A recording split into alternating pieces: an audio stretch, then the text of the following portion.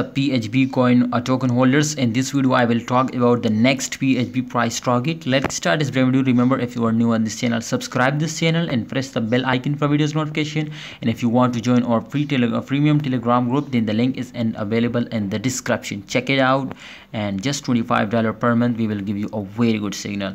So this time phb price was totally decreasing. You can see here why it was decreasing. Definitely the all capital market was in bearish position. It's bloody completely crashing down and very very terrible condition this time in all crypto market so that's why phb was also crashed down. But don't worry i'm 100 percent sure that it will be recover all the losses now after a very short time now. So you will need to take an entry in long position my brother. Absolutely this time you can see here it looked like crazy. I think it was again pumps position. So i'm sure today will be give you a very good profit.